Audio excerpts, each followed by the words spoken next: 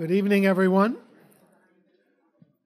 and welcome. Thanks for coming in from the rain. I'm Harold Holzer, and I have the privilege of serving as the Jonathan Fanton Director of Roosevelt House. And uh, on behalf of Jennifer Raab, the President of Hunter College, I want to welcome you to this program and thank you for coming. Um, it's a pleasure to see you and a pleasure to have some special guests like Joe Viteritti, who's the head of our urban policy program and department at Hunter College, and uh, two, two people without whom um, we would not have a public programs series at Roosevelt House. So I just want to thank and welcome Richard and Ronay Menschel. Um, thank you.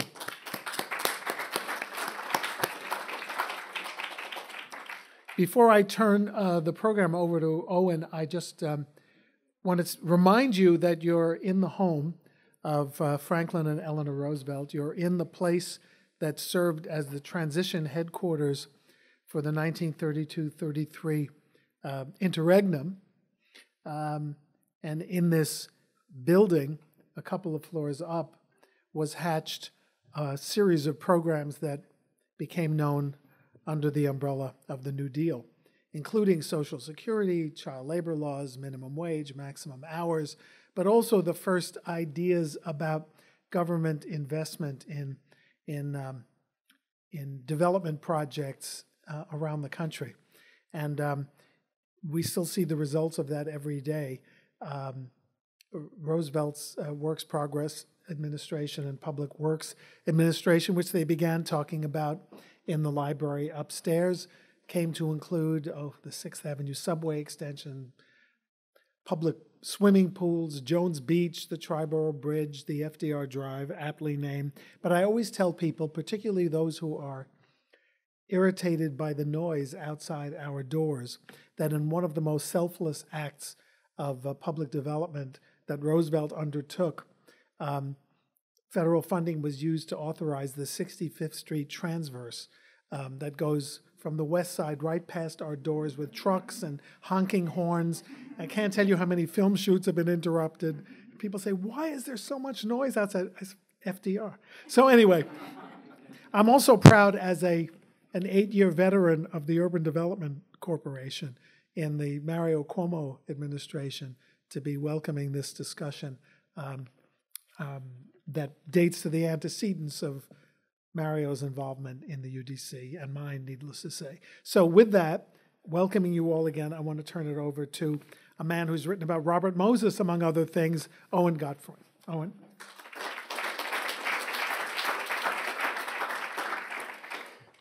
So uh, we have such a an array of luminaries here, uh, urban history luminaries, that I'm not going to take up very much time.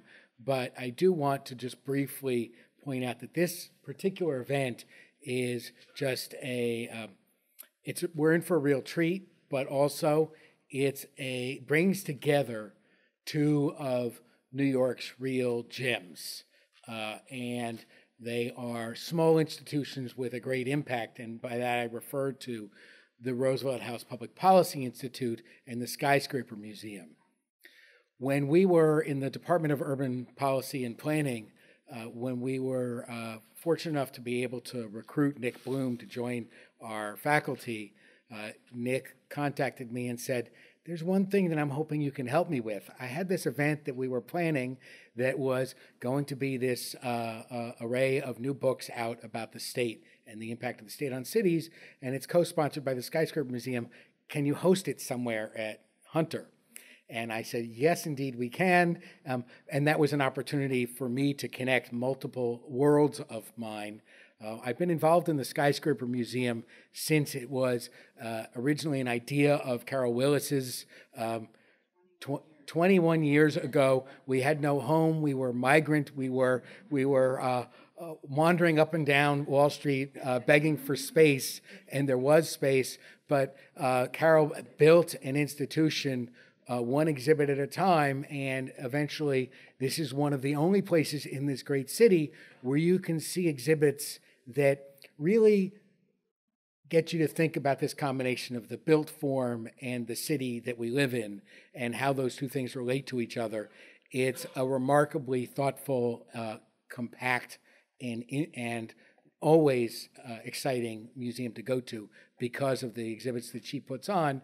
And then this is combined with uh, three speakers that I've known also for uh, 20 years or more in every case.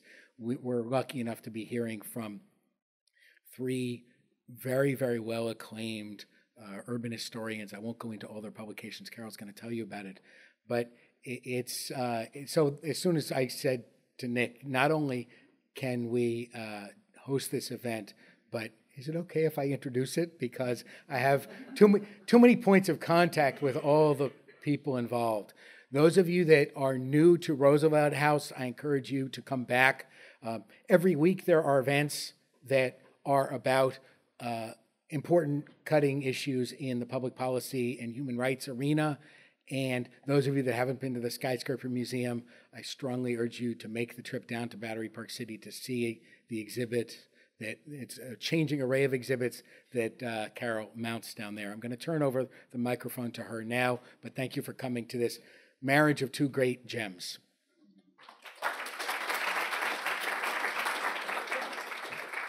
Hi, everybody. Thank you, Owen, and thank you, Harold, and everybody who's here today.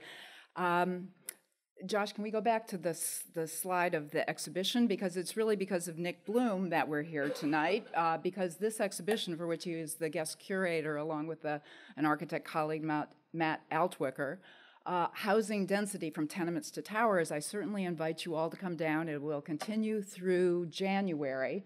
Uh, to, to look at the role of public housing, but also private development in the span of time from about 19, the 1900s through the 1970s. And we'll be talking about the post war period tonight and the role of the state.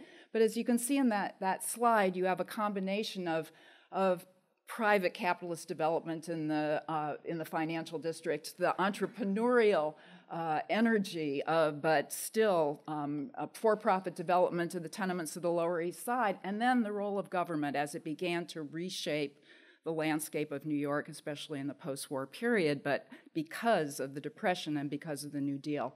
Uh, so, those public housing projects that are in large part the subject of the exhibition and have been the subject of so much of Nick's work, and I'm going to hold up books now because uh, there are going to be books for sale uh, and for signing after the event. So, Nicholas Bloom's How Shapes, How States Shaped Post War America um, was part of the impetus for this evening and focusing on this middle scape of, of the spectrum of government, of federal, of local, but the state in the middle. Uh, an enormously important vehicle for the funding of large scale projects, um, but yet kind of un- underrepresented in the scholarship. And so when Nick came out with this book uh, last April, uh, and I'm, I'm not going to mention all, all, all of the books that our authors have written because that would take uh, you know, the rest of the evening. Um, these are, uh, are, are, very uh, um, accomplished scholars with each one of, of the volumes, at least a decade's worth of research. Um, and then there's Nick, who writes two books uh, basically every year. Um, and here's another one uh, Affordable Housing uh, in New York with uh, Matt Lasner right here, also of Hunter. Uh, so that focus on public housing is something that Nick brought to the, uh, to the exhibition and, of course, plays out in urban renewal projects um, across the decades in, in uh, from the from the 40s, 50s, 60s, and up through the 80s, which is our subject for tonight. Uh, and then um, this, the evening is also occasioned by Liz Cohen's, Elizabeth Cohen's, Saving America's Cities, uh, a book that, through the lens of Ed Logue and those urban renewal projects, looks at the different decades of, of development of city, uh, city rebuilding and through the urban uh, crisis. Uh, and then um, another examination uh, with, a, with a kind of um, a concentration of, of focus. Uh, actually, two books. About one, one fat one I'm going to hold up, Power at Ground Zero by Lynne Sagalyn, who will be our third speaker. We'll start with Liz, um, and then Nick, and, and then uh, Lynne. Uh, looks, of course, at, uh, well, like the subtitle says, politics, money, and the remaking of lower Manhattan um, after uh, 9 11 uh, Ground Zero and World Trade Center rebuilding. She also is the author of Times Square Roulette, which came out in 2001 and is about the, especially about the UDC's uh, role in the redevelopment and, and uh, rescue of 42nd Street and Times Square. And she's now doing a, a, sequel to that, which will bring it up to date because 2001 marked uh, uh, Disney coming to 42nd uh, Street and uh, that what people perceive as the change of climate. So, um, real estate, politics, planning, um, individuals, overarching personalities in the in the in the cityscape of not just New York, um, but we'll probably be focusing on New York City and New York State tonight, but also through Logue with with Boston and New Haven.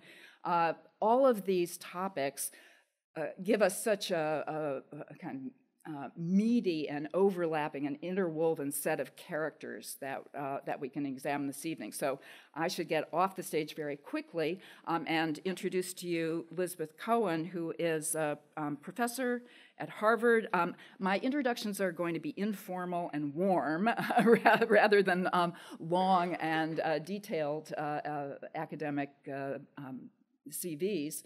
Uh, Liz is a, a professor of, um, uh, let's see, you're the Howard Mumford Jones professor uh, in the uh, um, American Studies Department in, in, at Harvard, but as well as a professor in the History Department at Harvard, and she was the director, the dean um, of the Radcliffe Institute for, uh, for Advanced Studies. Uh, she, Nicholas Bloom, as you just heard, is, has just uh, come on board at Hunter in the in, in, this first semester and has many of his students here tonight. And Lynne Sagalyn is, is now professor emerita um, from the Columbia Business School, um, where she taught for many years and still conti- continues to, um, to teach. Uh, teach students and mentor students and uh, operate on a uh, level of, um, of expertise in, in real estate and politics that, that give a lens onto um, real world um, decisions that I think are, are, exceptionally insightful. So, so we have a lot of people to bring insight to our, our topic this evening um, the role of states uh, in urban renewal. Liz.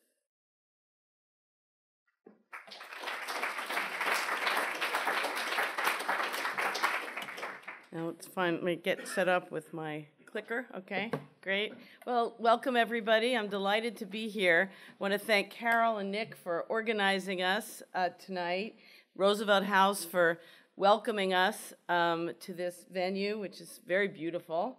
Um, and I'm looking forward to sharing some of my work with you. The book, as you've heard, um, from Owen and I think and from Carol is is really about much more than what we're going to talk about tonight. It's I, I use Ed Logue as a vehicle to look at shifting strategies of urban redevelopment over really half a century, as he worked in many different cities, and I argue that there is a lot of evolution in these approaches to um, revitalizing cities. But tonight our topic is New York City and New York State um, and so I'd like to use my time to discuss a major collaboration between New York City and New York State that I think demonstrates all the possibilities and tensions in that relationship as they played out in the late 1960s and early 1970s. And my case study will be the New York State Urban Development Corporation, known as the UDC, uh, created by Governor Nelson Rockefeller to build much needed subsidized housing in New York State and to carry out uh, civic industrial projects to revitalize the state's uh, many declining cities. In particular, I'm going to zoom in on one of the UDC's most important projects, which was the transformation of Welfare Island into, uh, which is in the East River of New York City, if you haven't noticed, um, into the new town of Roosevelt Island. And this was one of three new towns uh, that the UDC developed in New York State. Two of them were in upstate, and then Roosevelt Island here. Um, according to um, the New York State Constitution, bond issues to support state spending on uh, housing required a ballot referendum. And after watching five bond issues go down to defeat, Rockefeller came up with a workaround. Um, he created the super agency of the UDC as a public benefit corporation or a public authority to which he gave enormous powers, including the ability to acquire property through eminent domain, to exempt or reduce property taxes on projects, and most radically, to override local, often exclusionary zoning and outdated building codes, which um, you may be aware are often used to block uh, subsidized housing construction. They were in the past, they still are today. The agency would be funded with a combination of state funding, federal dollars, and most uniquely, the purchase of bonds by private investors. And these bonds were in themselves controversial because they, to, in order to avoid this requirement of voter approval, they were moral obligation bonds uh, that carried the state's moral obligation to back them, but not its usual legal full faith and credit. Let me just find my slide here. So, in drafting this legislation for the UDC, creating the UDC, Rockefeller consulted with Ed Logue, who had recently stepped down as head of the Boston Redevelopment Authority. He'd run, stepped down, ran for mayor, which he didn't, wasn't elected, and then was kind of hanging out at, at BU. Um, and he called him up and asked him to um, he had been, Logue had had a big history in New Haven and then in Boston working in, in urban redevelopment. And Rockefeller and his staff called him up and said, Would you come and take a look at this legislation that we're writing?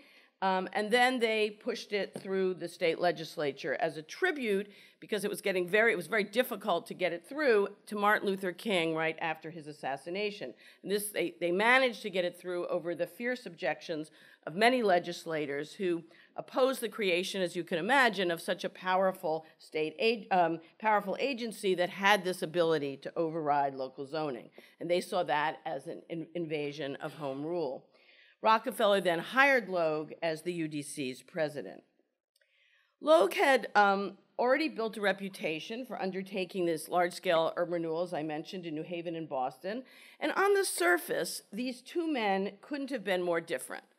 Rockefeller was a liberal Republican who harbored some suspicion of a strong federal government, uh, and he was the privileged heir to the greatest of American family fortunes. And Logue was an Irish Catholic liberal Democrat from Philadelphia. He came from, you know, a very modest background, and he was a self-made pioneer of post-war federally funded urban redevelopment, which he embraced as the next frontier of FDR's New Deal. But despite their differences, these two men actually had a lot in common. And as both of them were socially committed promoters of monumental projects who believed that the troubles of their time, ranging from poverty to poor housing, unemployment, inferior education, could be solved through major interventions in the physical um, environment. But the UDC discovered that building subsidized housing, particularly in uh, New York State, uh, which had in New York City, sorry, which had a tremendous need for it in the late 1960s and early 1970s, was very was was often uh, easier said than done.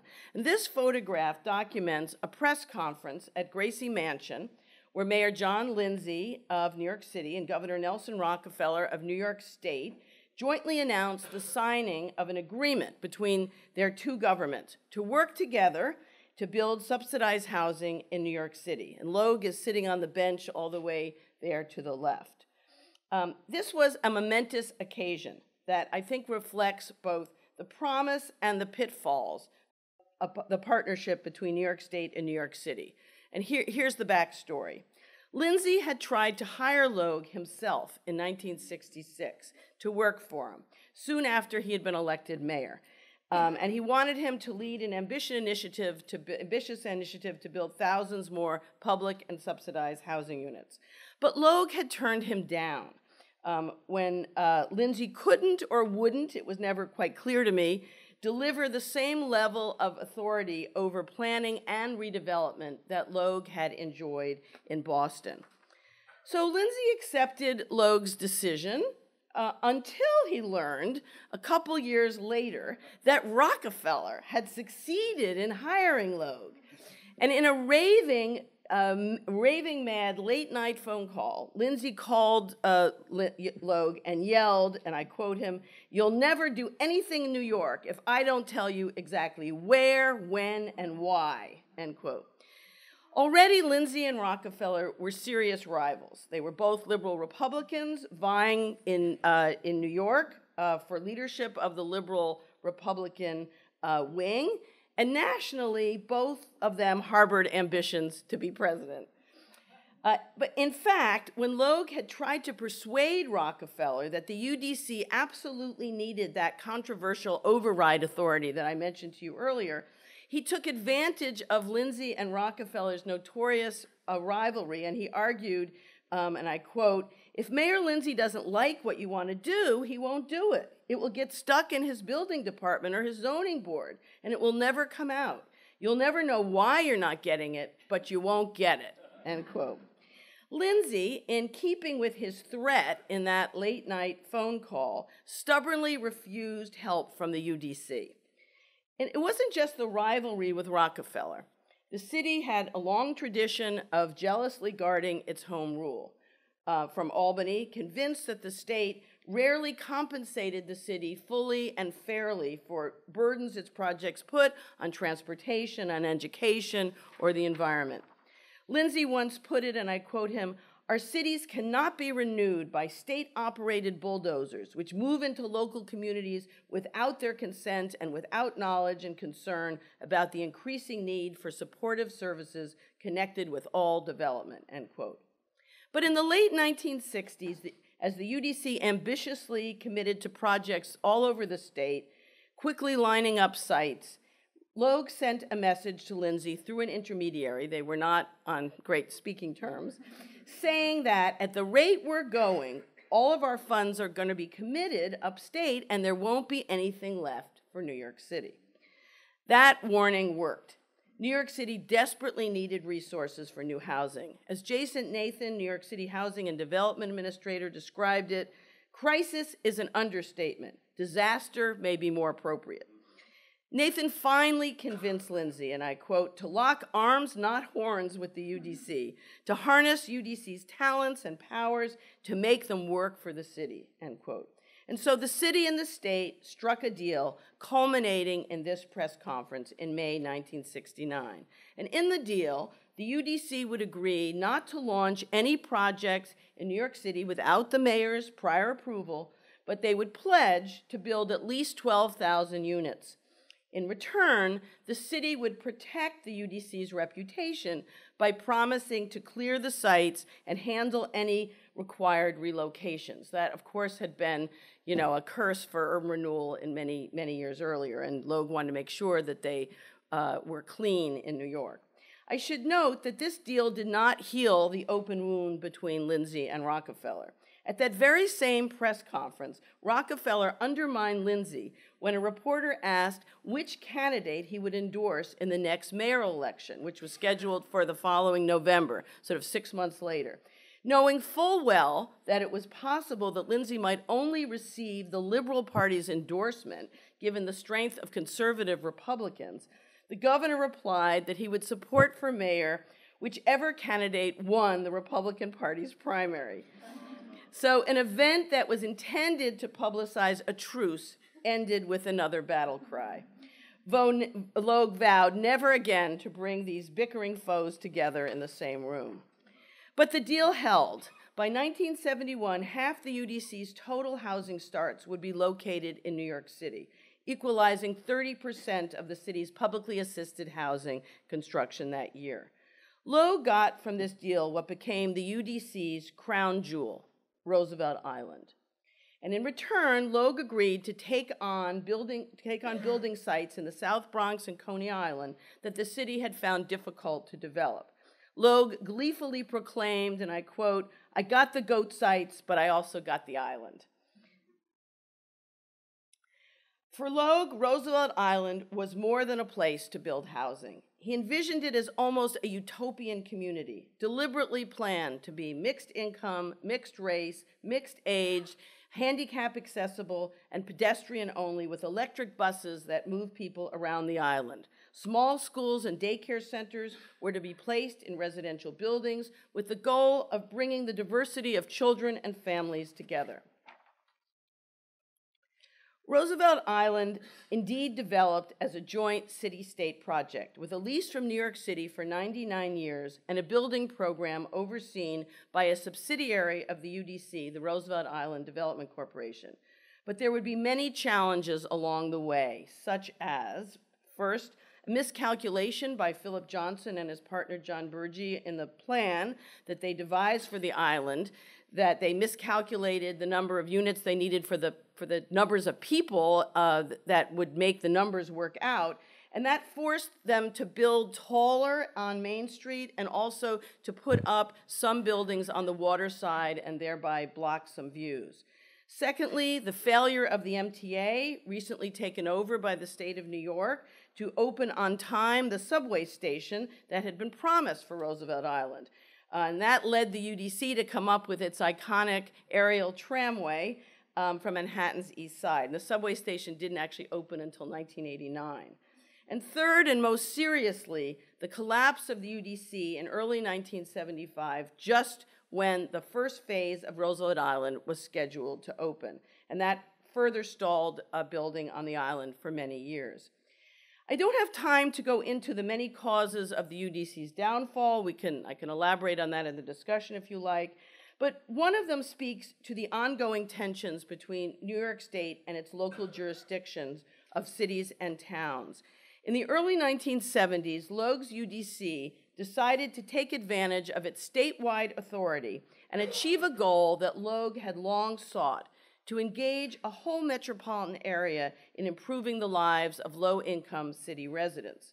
So the UDC proposed what it thought was a very modest plan called Fair Share Housing to build 100 units of subsidized housing in nine suburban and ex urban Westchester communities. Well, as you can well imagine, that did not go very well. Uh, this angry uh, public protest meeting in Bedford was replicated in all the other eight towns. And relevant to my earlier discussion, although this dispute was between Westchester Towns and New York State, one of Rockefeller's motives for supporting Logue's fair share housing plan, at least at the beginning, before the outrage became so difficult to handle, was to shift the UDC's investments away from Lindsay's New York City, where by 1972, 55% of the UDC's housing starts were taking place. In the end, the backlash against the UDC's Fair Share Housing Program led to the elimination of the UDC's override powers in New York, City, in New York State's towns and ultimately contributed significantly to the agency's collapse and Logue's forced resignation in 1975. The contest between New York State and New York City, as refracted through the UDC, has demonstrated, I hope, that the presence of strong political rivals like Lindsay and Rockefeller mattered, but underlying it was a deeper, more structural, and persistent conflict over control and power between New York State and its largest city. And at times, such as with that fair share housing program, its smaller jurisdictions as well. Although Albany's dollars were often valued, the state's offers of resources often met skepticism and distrust by state residents and officials who valued their local control.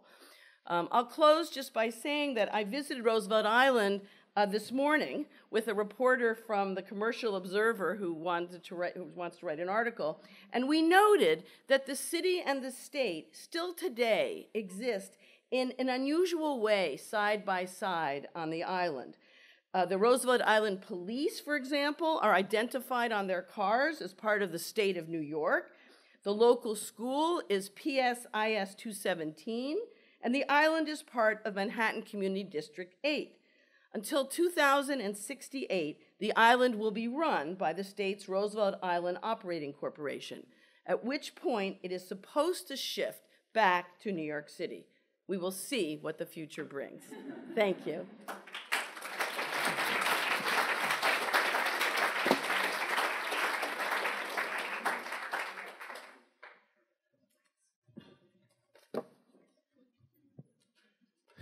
Well, good evening. I'm delighted to be here, and uh, thanks to Carol for organizing it, and uh, also Roosevelt House. And I'm delighted to have joined my new colleagues at the Department of Urban Policy and Planning at Hunter, including my chair, who's here, Joe Viteritti. So I'm going to draw back a little bit, and uh, I think we got a really good sort of um, deep dive into a couple uh, projects of the Urban Development Corporation and look more at the sort of the broader what these programs, these state programs meant. And these are uh, explored uh, in my new book on how states shape post-war America. And um, let's see here. Okay, so the the Mitchell Lama program did not start with Nelson Rockefeller. It actually uh, started in 1955, but it was it was really having trouble into the late 50s, and it only took off thanks to a lot of changes which were made in the program post 1959 by the Rockefeller administration. So I'll talk about. Oops, let me go back. Uh, 11 ingredients, which I think led to this vast and still underappreciated, if not as exciting in many ways, as the Logue program in terms of dynamic personalities. Um, but I think it, it really helped set a pattern for state intervention in New York City, and also it provides a window, uh, really, about how New York State really operates uh, in New York City to this day. So the first of these sort of ingredients or steps uh, was to appoint an expert committee. And uh, for those of you know who the Rockefeller administration, he was very uh, big on expert committees. Uh, this one with uh, Otto Nelson of the Metropolitan Life uh, Corporation. And this committee recommended major changes to Mitchell Lama. Uh, among which were better intergovernmental cooperation, which I think Liz uh, noted was a, a crucial issue, um, more tax abatement. But the real key element of this story was to sweeten the deal. Uh, to make it more profitable for developers to engage in the process of creating middle income housing in New York City, which was considered to be a great risk for uh, post war private sector developers. So he recommended that it be uh, the time to privatization of these projects be reduced from 35 years to 15. Ultimately, the state legislature um, reduced it to 20. And guess what? Uh, there was a lot more interest in Mitchell Lama with that reduction. The next ingredient was to dream big, right? And um,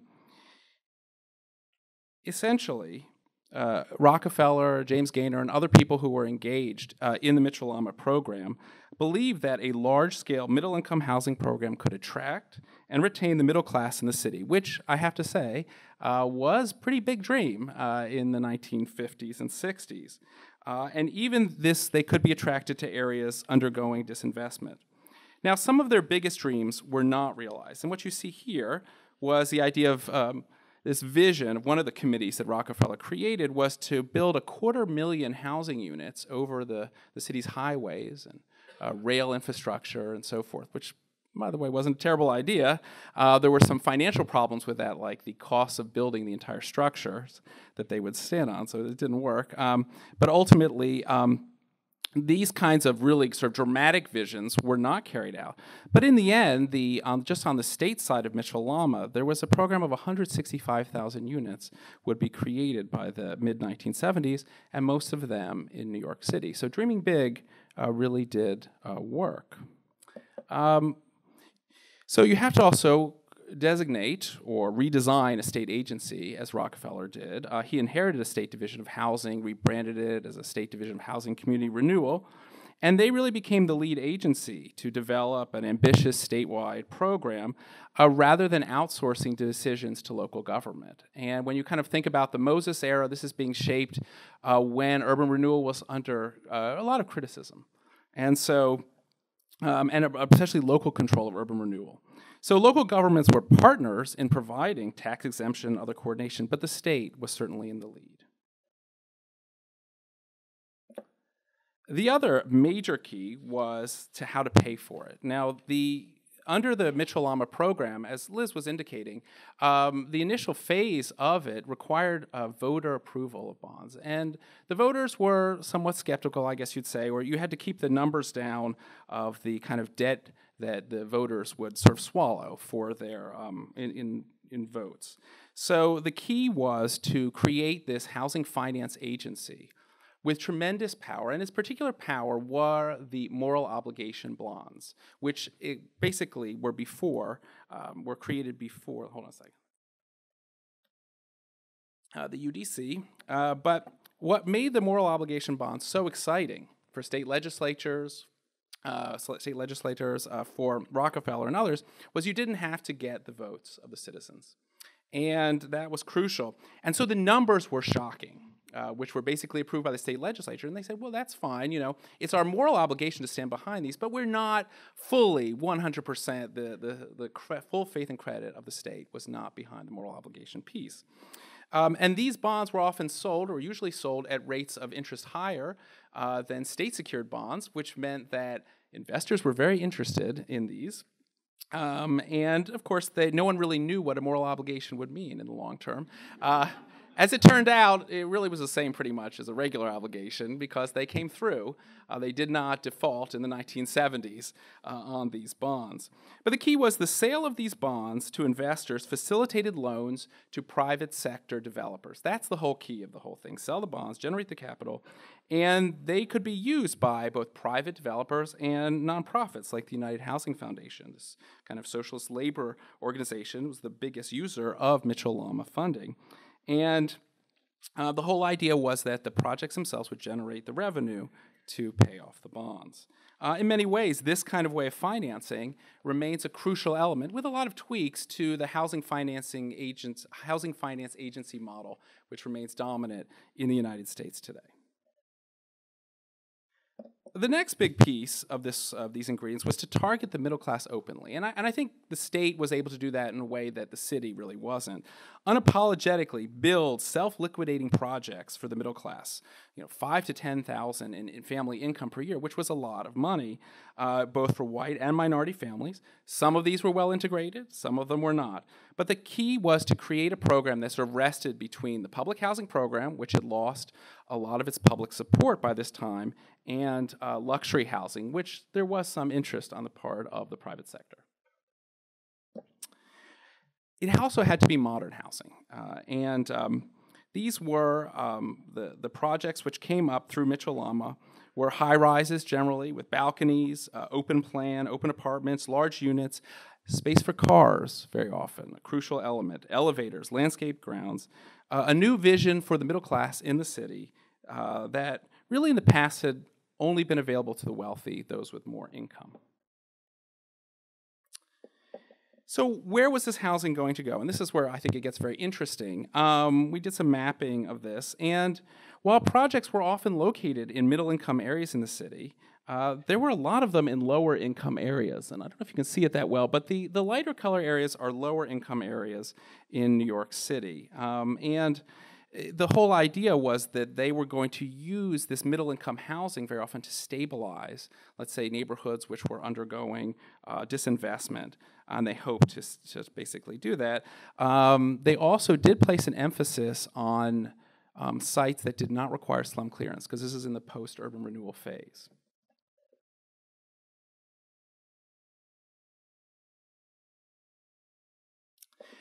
So that didn't work so well. Um, there, when you look in their papers and you look at how they talk about these um, these early projects, a lot of them were small, and there was a general sense that using a housing project or two to stabilize a neighborhood was really very risky. That they couldn't create the kind of environment the middle class really wanted, and this was basically seen through uh, higher vacancy rates, et cetera. So they began to shift, and partly this was because of the enormous interest of the, um, the United Housing Foundation to build very large uh, cooperative projects. And you can see places like Rochdale Village or Co op City. Uh, these were designed to be basically enclaves in the city uh, for the middle class. That would include schools, shopping, community centers, parks, and more. Um, and uh, these were, uh, during the 1960s, some of the great hopes uh, of the Mitchell Lama program. Now, there was criticism of Mitchell Lama. As the 1960s moved forward, um, the fact that they were building a middle income program that it was primarily white in a lot of its um, dimensions. Uh, this came in for criticism. So Rockefeller and his team also tweaked the program uh, with uh, various um, aids to people to rent and also to buy in uh, Mitchell Lama projects. And um, through these rent subsidies or loans for mortgage purchase, uh, they were able to, I think, in a very kind of progressive, contemporary way, uh, integrate uh, quite a few of the projects which were created. And I, I think you can argue this is sort of the, one of the originating points of the voucher programs, right? Rather than building separate public housing projects for very low income people, make it possible uh, for people of lower income to live in these projects. Um, and this I think relates with uh, to Liz's uh, quite a bit. Another uh, key ingredient uh, was to completely underestimate cost and complexity of building an enormous housing program of 165,000 units. Right. So, among the many problems which Mitchell-Lama faced, which of course many of the Urban Development Corporation uh, projects faced as well, high vacancy rates, particularly in the 70s, many issues with the quality of construction higher than expected maintenance costs, particularly related to the fuel crisis in the 1970s, a very public and completely damaging rent strike at Co op City that basically uh, undid the um, United Housing Foundation. The white flight was a typical uh, in many uh, uh projects, and uh, quite a few projects canceled. Um, and even at the tenant level, uh, many owners and renters dodged surcharges for higher income that could have helped uh, settle the project finances. So these miscalculations meant that basically the HFA, just like the UDC, had to be bailed out by the state through a series of different uh, complicated, uh, basically arrangements. The last and final step would be a long-term subsidy uh, and privatization and or privatization. Uh, the state had to recapitalize many of these large-scale projects in the 1980s to and um, this was the only way, basically, to extend affordability. Um, while eventually others were allowed to go market rate. Where preservation has been achieved, uh, these are highly valued apartments and are often the most affordable in a neighborhood. And frankly, where privatization occurs, it returns property to full taxation, which was one of the project goals, you know, to get the private sector to invest. So, what do we learn as a whole in our 10 minutes of, uh, or maybe 12 minutes, uh, about state government urbanism or the character of states. A lot of these sort of kind of step back and look at the big projects and the big programs, I should say. So, uh, among the uh, elements of Mitchell-Lama that I think are fairly typical of state government enterprises as they relate to New York City and other state cities in the state, the reliance on expert opinion, the designation of a very powerful state agency or authority, the uh, reliance on bonds or other debt issues as opposed to cash on the barrelhead, a public private partnership as a crucial element of that, an avowedly and openly middle class target uh, where equity is, I think social equity is sometimes secondary, a modern image of living or whatever, or tourism, whatever it is. Very, because of the enormous uh, wealth which a state can bring, you get large scale development. I think complex results, you end up debating a lot of the outcomes of this over time, and finally, a long term impact on the shape and form of city life. Okay, well, that's it.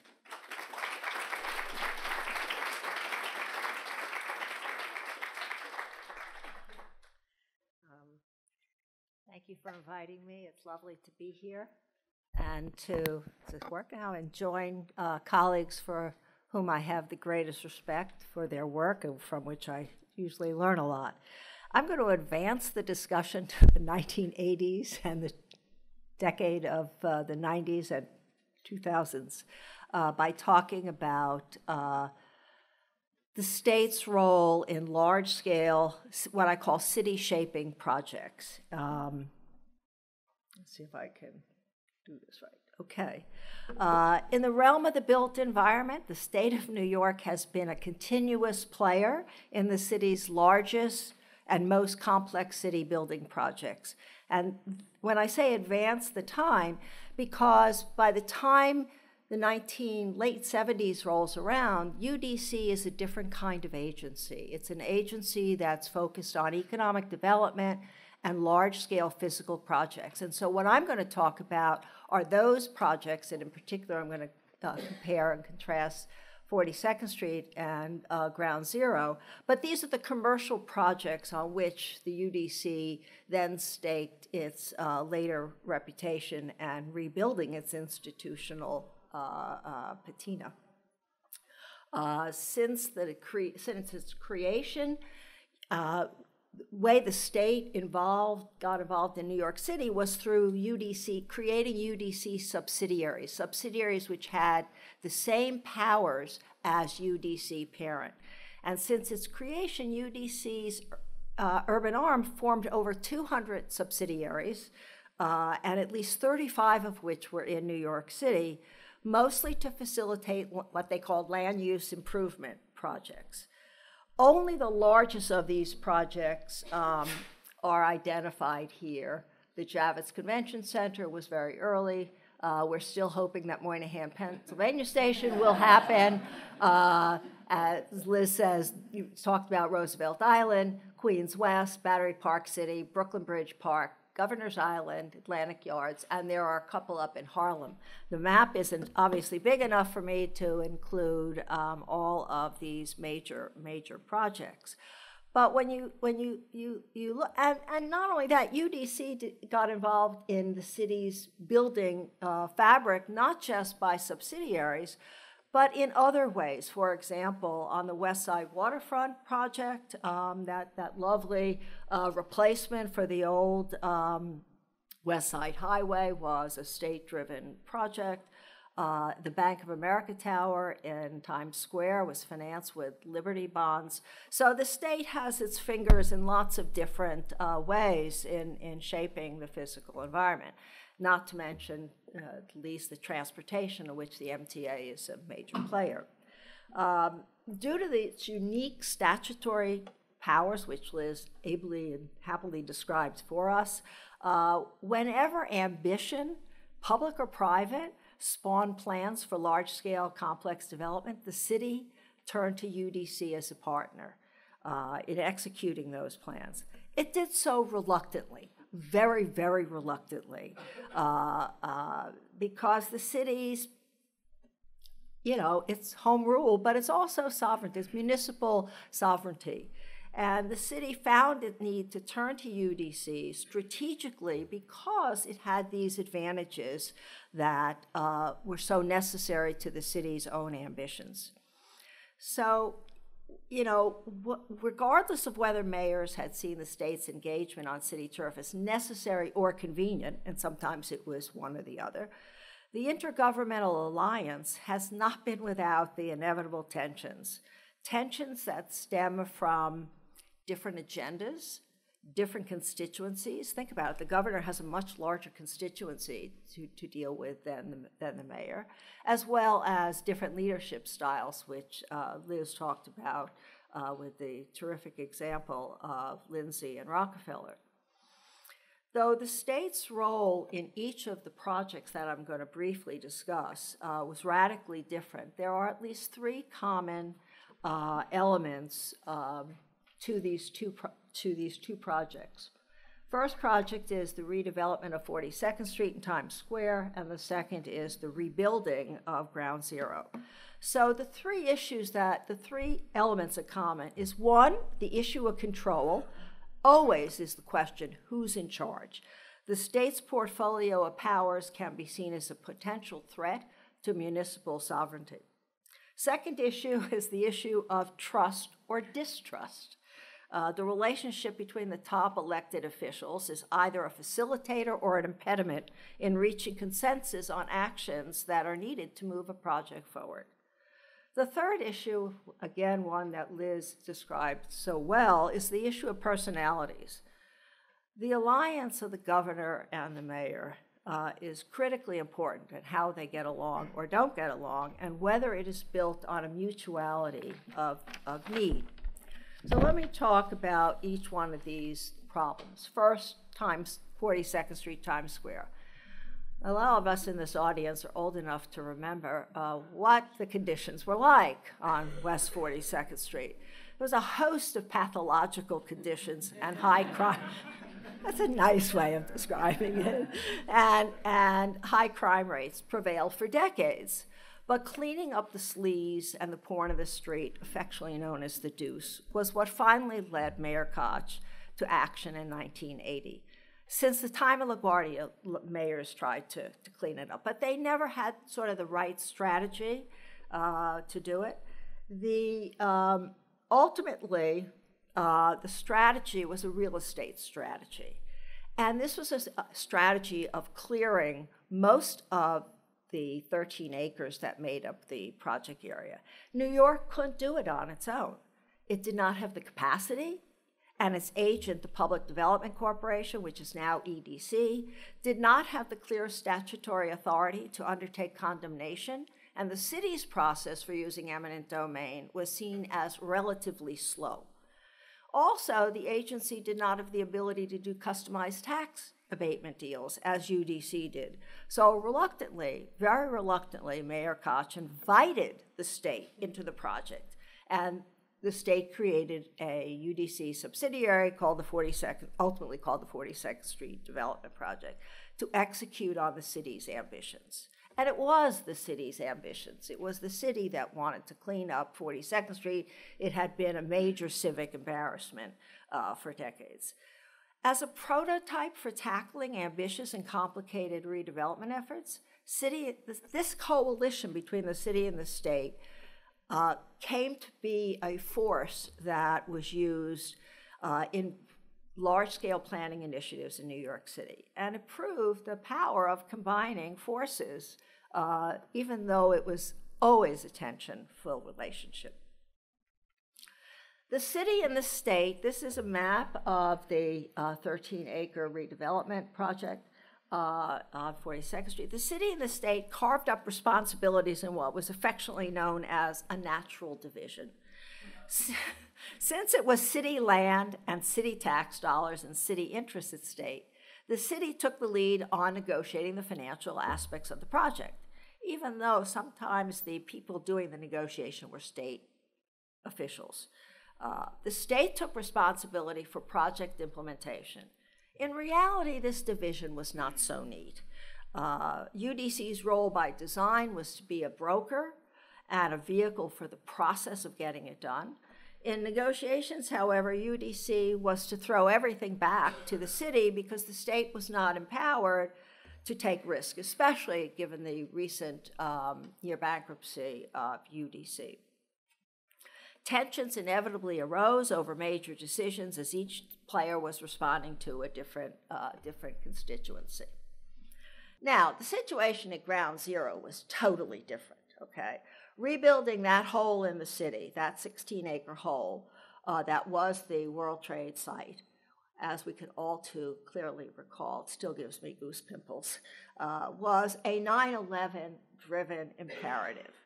Without much ado, Governor Pataki immediately took the reins of power, uh, of reins of political power, and the state's presence was dominant, okay? They had legal and politi- their, legal and political power was all over the site. Uh, the state, through the Port Authority of New York, New Jersey, owned the site. The state had control of the MTA, whose Cortlandt Street station had been destroyed. And the state had control over Route 9A West Street, which was the adjacent site founding um, uh, World Trade Center site. So, as, the, as had become the norm for getting things done in New York City, large scale projects done, the, city set, the state set up a UDC subsidiary, the Lower Manhattan Development Corporation. Yes, there was city representation, mayor. Uh, make no mistake, the governor's men were in charge, always in charge. And so too at the Port Authority, where the appointment of the executive director had been a New York State prerogative. New York New Jersey appointing uh, the chairman of the board. At ground zero, as odd as it may seem to many in the room, the city of New York had absolutely no legal power. Okay, its only legal claim uh, was to the streets that had been left out of the urban re- uh, out of the eminent domain taking. So the only point of leverage was what the city could exercise over the streets that, that remained. The state and the city uh, would never be equal partners at Ground Zero. Uh, they were sort of equal partners on 42nd Street. Um, though each needed each other as the quotes, and, and I leave them here for you to read because they were so descriptive, This was an alliance built on the mutuality of need, uh, whereas the alliance at 42nd Street was an alliance built on the city's need to have the UDC help them uh, uh, get the project done. At ground zero, battles were constant. And I like this image uh, particularly because it shows the relative position of the three main players. Here you have Governor Pataki, who is clearly in charge. Bloomberg, Mayor Bloomberg, sort of looking on. You see the size of his eyes, you know. Uh, he kind of liked to play, but he doesn't have a perch. And over here is Joe Seymour, who is the executive director of the Port Authority. Um, to explain how, in the absence of any perch, the city worked its way into decisions at Ground Zero would take more time than I'm allowed, allotted tonight. But the mayor's office in time got fairly aggressive in trying to insert itself in the, proce- in the process by way of what Dan Doctoroff termed strategic interventions, which means using anything that they possibly could to get their voice in, in, in the game.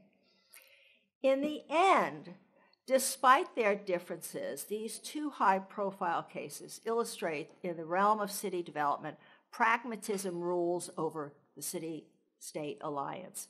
The, the alliance allows for a formidable concentration of resources, both legal and financial. Yet the power struggles are inevitable because the question of control is always lurking in the background. And resolution of that control issue typically comes through negotiation and compromise on any set of projects that the city and state are working on together. In conclusion, I would say that despite their differences, the details of each case reveals a clear lesson.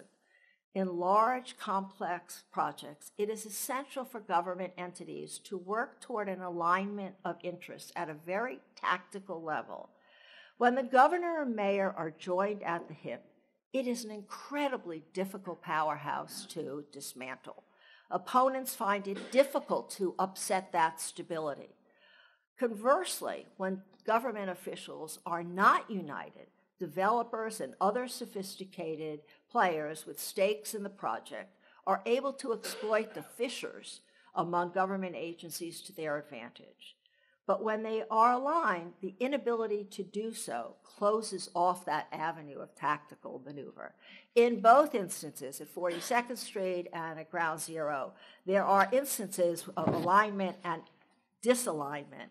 And it's striking how clear, despite the example, that lesson comes through in these fairly disparate uh, uh, examples. So thank you very much.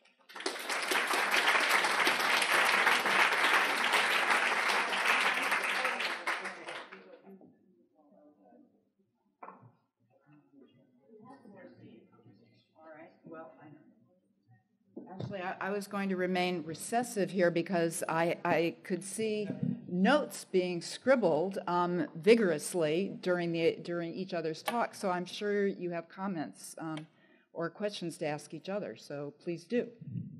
Well, something that was some opinion about this too, Nick, is as I watch uh, Logue's career, um, he starts off in New Haven and then even into Boston getting a lot of his resources from the federal government.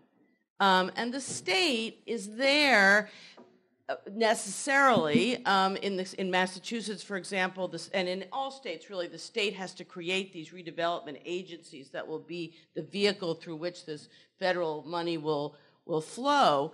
But really, the relationship between these people working at the city level is to is with Washington. They're constantly going down, making their proposals to HUD. They're not really, I just didn't see, didn't see a lot of interaction with the state until uh, the late 60s, as when Logue comes here to New York State and starts working with Rockefeller. We've seen that some of it is Rockefeller feeling that federalism is really about states having power and doing things. But I also think as time goes on and the federal government is less of a player, um, has, you know, and it, it's financial in the 70s, and then with Reagan, it's ideological that, that, that, that the federal government shouldn't be involved um, at that level. What's the impact then on you know this kind of state city relationship if it's if we see these as three entities of government um, as one shifts it impacts the other two Well, you know, you're, you're absolutely right. I mean, what happens, you know, um, the urban renewal program is shut down in 1974. Reagan comes in.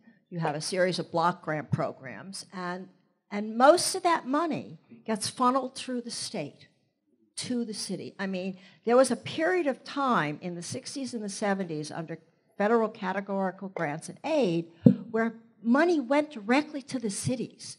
That was unusual. My, my friends who have studied federalism have said that that was a rare period. So the states in, in the 70s, especially in the 80s and 90s, when the federal government is not helping cities at all, okay? They're block grants, but they're basically out of the business of helping support cities. Uh, then it becomes the state's role, and the states really take it up. Some states, I mean, California, uh, talk about state power at city level. I mean, they are redevelopment agencies, which didn't even have, they were, by enabling legislation, every city had a, a, a, redevelopment authority. No longer, but they had. So the states really pick up the ball in the, in the 80s and the 90s. And it becomes a laboratory for, they become laboratories for experimentation because you don't have the federal government determining the rules. And so it gives the states, ones that want to be aggressive and active, more power. And uh, hello. Oh. Um, I, I would just add also, if you go back in time, I think what if you look at New York's uh, particular program with Mitchell Lama um, and even the UDC, um, even by that time, the federal government is really stepping back from subsidized housing and, for instance, is not really interested in a large scale, for instance, urban middle class program uh, funding that. And I, so I think that the emergence of that in New York uh, was an opportunity uh, to basically demonstrate a different kind of urban planning, which was something that I, basically had failed, if you want to sort of think about it. While the federal government was fine with subsidizing the suburban uh, sort of growth, low density, I think that what we have in the city uh, through programs like Mitchell Lama and UDC was a really interesting um, attempt to create relatively high density urban middle class housing that is very difficult to sell, for instance, on a national basis.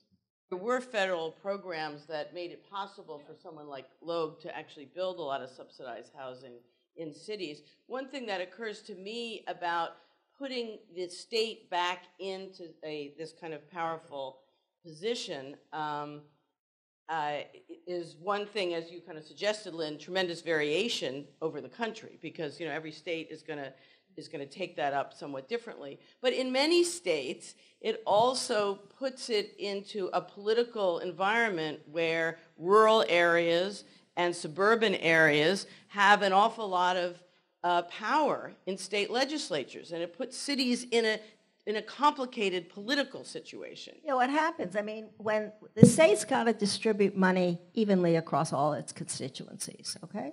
So when money went directly to the city, it could focus its energies on the city. It didn't have to make compromises with Rochester or, you know Schenectady. Okay, and so that it does change. It does change the amount of it, it, it changes the allocation of the pot of money and how it gets allocated when at the state level versus the federal level, and that disadvantages large cities, disadvantages downstate from upstate. Um, I, I, I want to comment on something that, uh, uh, that Nick talked about, which I didn't realize, uh, which is I didn't realize that the political compromise for Mitchell Lama was shortening the term of, of the loans. Because, and the reason I say that is because the mortgage on these projects is usually 35 or 40 years. So, so somehow the banks seem to have overridden that political compromise. And that's a really interesting initial political compromise because it, it, you, you can't finance high-rise development for 15 on a 15-year mortgage, especially when you're trying to go for the middle class and and all the other social values that were embedded in Mitchell Lama. So I, I found that really interesting. Well, I mean, the whole idea was that you could get to profitability. I think that banks or developers looked at it as a much more positive situation because the earlier timeout meant that it was essentially a better investment. I would also argue that they were willing to invest at a higher quality level because of the expectation of profit. Well, they could amortize it faster. Uh, and maybe be, maybe the subsidies were handsome enough that they, they could do that. I mean, to bring it up to current times, you know, that whether it's 15 years, 35 years, or 40 years, when that stock goes back into the private market, it's a real problem for a city like New York. Uh, and uh, except for Waterside, I don't, which, which Ravitch spent a lot of years trying to keep in uh, the Mitchell-Lama kind of framework, I don't know of how many have retained their affordable housing. Right. Um, there's been a great loss in them. Uh, but I would say that just to go back to how states shape things differently, right? Uh, the notion, I, I, kind of think about it this way, is Mitchell-Lama, or I think some UDC projects are part of kind of putting New York City in the broader metropolitan picture. So the idea that there isn't permanent subsidized housing, they're coming off of already, if you read a lot of the, the work on Mitchell-Lama, they're already saying, well, it's a problem that public housing is a permanently low income thing. It's it's a problem that it's off the that from for people who've lived there a long time and consider it to be you know low low rent as a kind of right of living in those places. It's problem. Uh, but to kind of go back to how states are different, I don't think they didn't have a problem with the idea that you would basically create something very attractive for private developers to come in, and then in the end they'd worry. Again, that's the complex results part we'll worry about it, you know, way down the road. But the, their, their crisis right then was the massive disinvestment in well, cities. And, and, not only that, they didn't want housing off the tax rolls that for, forever, okay? because if you remember the 50s and the 60s, cities are losing people to the suburbs, and that hits the fiscal bottom line of the city's budget. So there are a lot of complex things that explain. I just want to mention that um, in Roosevelt Island today, we were going into whatever buildings we could get into, and there were there were some uh, little memos posted on the walls about a great victory that had taken really people's mobilizing to get. But when one of the there was Mitchell-Lama, the UDC took advantage of Mitchell-Lama for the middle income housing that they wanted in this kind of utopian social mix of low income, middle, in, moderate income, mid, middle income.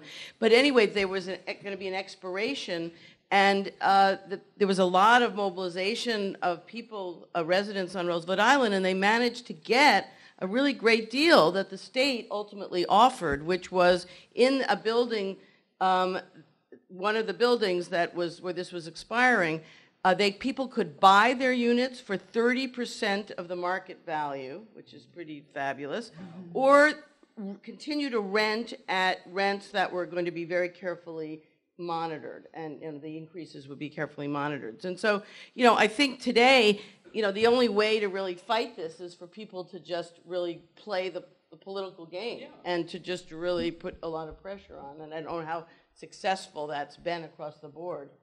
I mean, I think a lot of the money for preservation over the years has been used to basically extend uh, these kinds of deals. But I, I, would say you mentioned about a 30% purchase. You know, I mean that that assumes that people have capital, right? It's still this kind of like middle. Loans available. Exactly yes, right. And I, I would just stress again, and we you know should talk about 42nd. Who is 42nd Street for, right? And that development, right? Who supposed to bring right, the middle class back to the city. Right. So there's a very it's safe. Right right. Right. And, and I think that's partly because these things are shaped, partly like you were saying, Linda, but they're shaped in Albany. They, that you kind of, there still is a kind of background of kind of mainstream consensus that it has to meet. The state, for instance, had a public housing program. Guess what?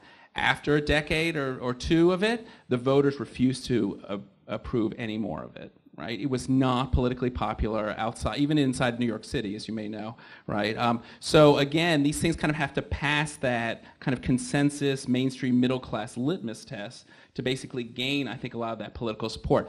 Obviously, things are maybe changing in Albany. I'm just saying that historically, that's how it was.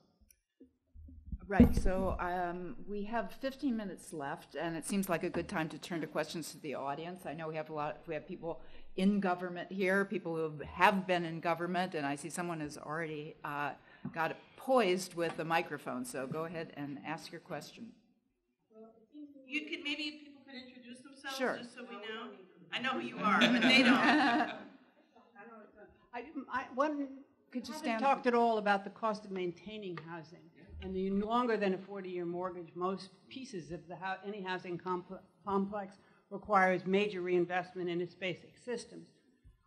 I think that one of the reasons that this federal government pulled out of public housing is the sheer cost of continuing to rebuild it without having a new building was so expensive that the, the idea of continuing for every year the same expenses for the same housing was intolerable. And I think it's the same reason why the state's program has ended too, and why Congress actually required that um, any new capital expenses of the federal government had to be, um, um, their, their cost over time had to be um, accounted for. And so it made, it's made the federal government budget much larger as a result of recognizing the costs of reinvestment or paying out mortgage sums year after year. We have, a- Nick, when I first met Nick, he'd just written a book about uh, NYCHA, and he was a great supporter. He said, New York City has the best public housing in the country, you know, it's livable, you know, blah, blah, blah. But, you know, and now, here we are, and that was many years ago, and, you know, New York is not alone in having public housing that has deteriorated because there hasn't been that maintenance. So, you know, there really, I guess, hasn't been the provision for how that's going to happen. May I add one element to that too? Is that in fact preserving the middle class Mitchell-Lama, like Co-op City, right? That required additional state aid, right, and security, right? So there is, I think, also a, a willingness to kind of like invest in a middle income, for instance, and preserve a lot of the preservation programs addressed, like you were talking about with Roosevelt Island, right? There's a there. I think there is it's not simply this basically two-tier kind of system, right? Which is that things that very poor people uh, live in, that is not considered to be worth a long-term investment. Uh, so public housing, I think, has suffered from that reputational element. Whereas middle-income things, I think about. Let's think about the deal that has preserved Stuyvesant Town, right? That's a middle-income uh, rescue plan, right? And I think nobody que- nobody questioned that. We talk about NYCHA, for instance. People say, "Well, why would we spend this money?" You know, these sort of things. Well, you know, a lot of it has to do with how things are targeted. So I think that middle when when we talk about these kind of particular state programs that targeted middle income people, it's a lot easier kind of sell in the public that these places will be preserved because there's a more positive view of what they contribute to the city. Though I would just remind you uh, that you know there was a big rent strike at Yeah. Co-op City. It didn't come so easily. Uh, But they still came through in the end. yeah. But middle income housing pay higher rent, and so they pay somewhat more due to their long-term upkeep. So if you have a Well, problem with public right. housing, that it doesn't, and so it's all paid for by the public, by the taxes later on.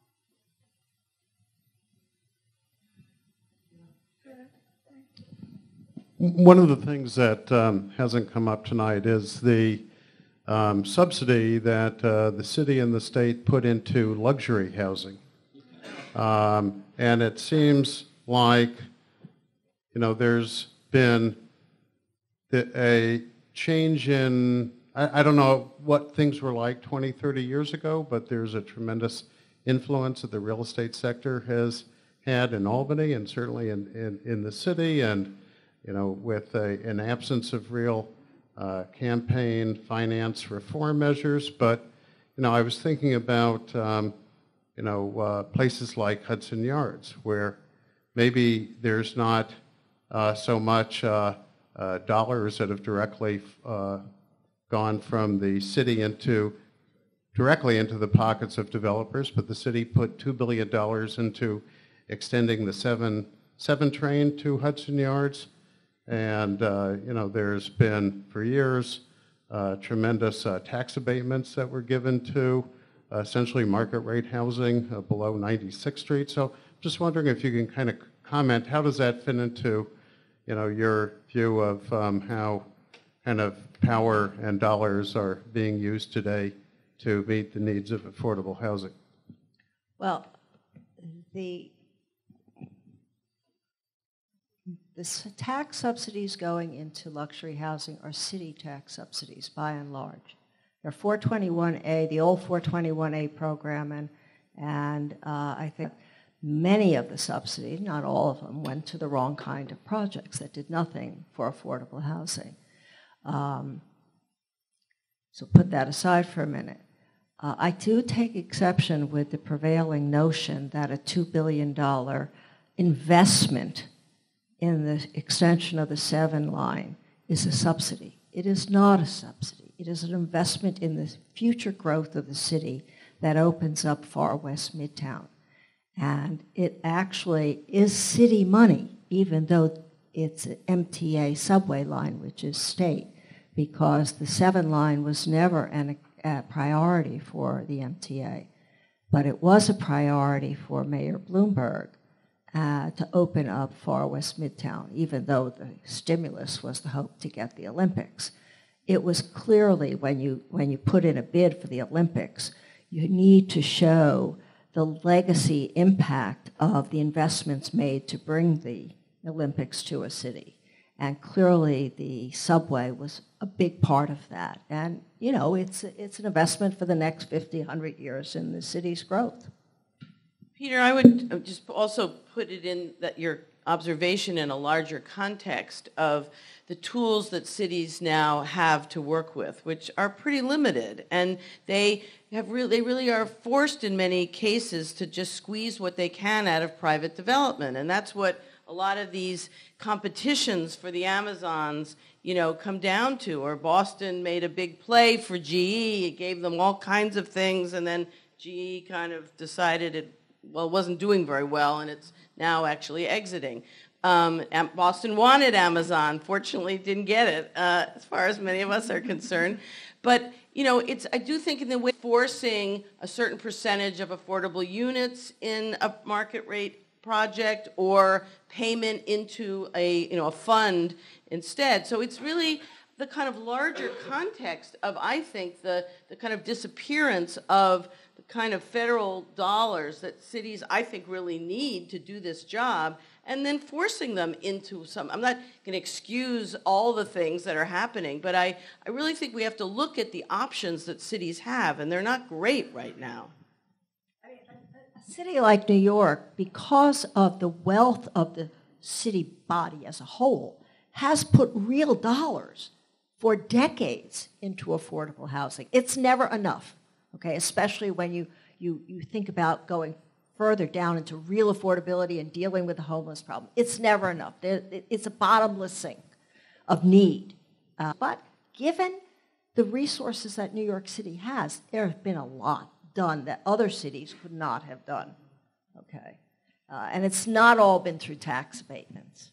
Well, that's the other thing. Just to pick up on that, I mean, we're also seeing a, you know, a nation of cities that are flourishing uh, and cities that are failing, and you know, a city, Amazon wasn't interested in going to Baltimore or Cleveland or Newark or many of this, or Detroit, or many of the cities that would have benefited enormously. But they were really trying to find places where they thought the talent that they are seeking would want to live. And so we are kind of concentrating a lot of these resources, I think, in certain places. Can I add something? We were both at the uh, conference in Arlington uh, where Amy Liu from Brookings talked about the deal that actually went through, uh, which could be much better, not just for the employers who want them, uh, but a lot of that investment that's being made, for instance, in Arlington, is about increasing the quality of education in the region and other resources. Um, just to kind of back up a little bit, though, I, I think it's important since we're all basically involved in a historical enterprise here, uh, to remember again uh, what cities were like back in the 1960s when people thought, or 70s when these uh, projects were put together, these large scale projects in particular, uh, because there really wasn't, I know for, for my students here and so forth, you talk about an urban crisis and investment, it all seems very uh, sort of abstract, all right? But it was a real thing. Um, and if some of these projects maybe seem a little over the top, and of course didn't work out right exactly the way people had hoped uh, that was because the environment the economic environment you know the the difference between making it and not making it was very slim right for a city like new york Um, so uh, I would just, I would say a lot of these, again, large scale projects, uh, in a way, made much more sense, you know, 30, 40 years ago.